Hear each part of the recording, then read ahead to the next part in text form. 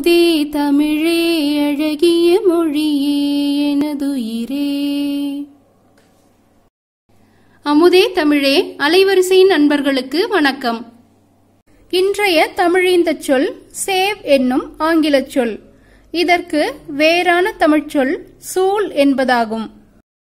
முதலில் சேவ் என்ற ஆங்கிலச் சொல்லின் மூலத்தை பார்ப்போம்.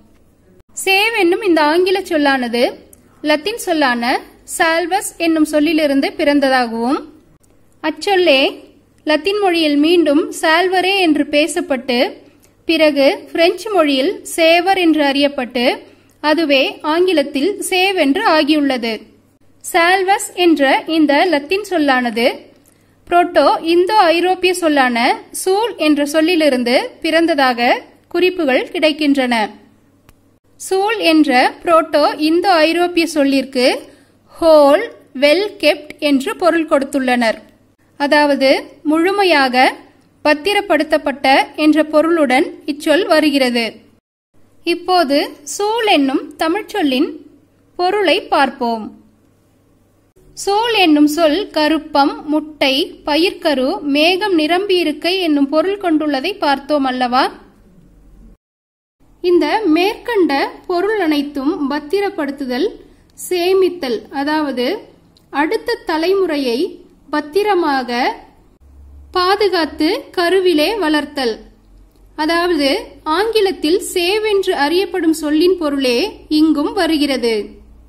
புரோட்டோ இந்தோ ஐரோப்பிய சொல்லான சோல் என்ற சொல்லின் விளக்கத்தில் கொடுக்கப்பட்ட அதே பொருள்தான் நம் தமிழ்ச் சொல்லான சூல் என்னும் சொல்லும் தருகிறது.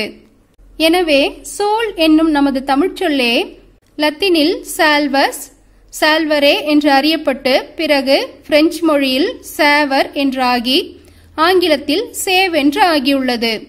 எல்லாம் தமிழே. தமிழா சற்றே சிந்தித்து பார். இந்த சொற்கள் அனைத்தும் நம்மிடமிருந்து பிறர் கடனாக பெற்ற சொற்கள். மொழி இல்லாதவருக்கு மொழி கொடுத்தது நம் மொழி. ஆனால் இன்றைய நமது தமிழரின் நிலைமை என்ன? அந்த கடன் வாங்கப்பட்ட மொழியில் இருக்கும் சொற்களை பேசி பெருமைப்படுகிறோம்.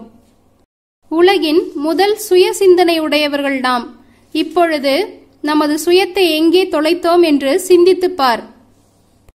தொலைந்த நாட்களை விடுப்போம் விழித்துக் கொண்டோம். இனி நம் தமிழ்ச்சிறக்க அடுத்த தலைமுறையினருக்காவது மதம் கடந்து தமிழ் பெயர்களை சூட்டுவோம். நம் அமுத தமிழ்காக்க தமிழ் சொற்களையே பேசுவோம். தமிழ் எழுத நம் தமிழ் எழுத்துக்களையே பயன்படுத்துவோம் என்று உறுதியேற்போம்.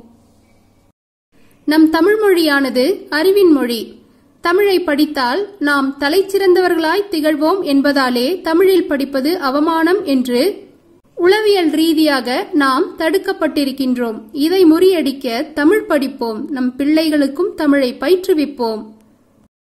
இந்த பதிவை நிச்சயம் உங்கள் பிள்ளைகளோடு பகிர்ந்திடுங்கள். அடுத்த பதிவில் வேறொரு சொல்லோடு வருகிறேன். நன்றி.